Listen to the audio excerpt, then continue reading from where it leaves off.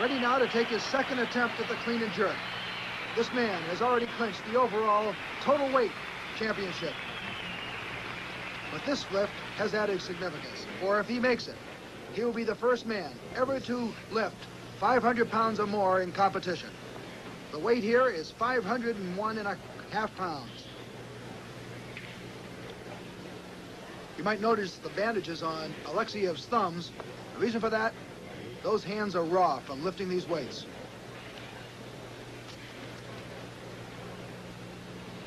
No man has ever lifted 500 pounds in competition. Alexeev has the chance to do it now, a quarter of a ton. Look at the concentration on that face.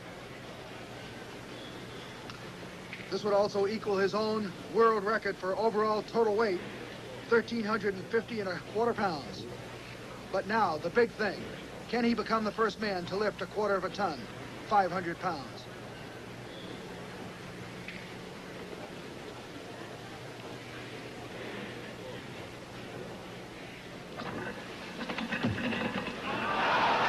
He has the clean.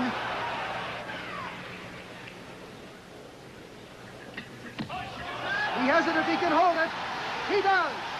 Alexeev of Russia has just lifted 501 and a half pounds.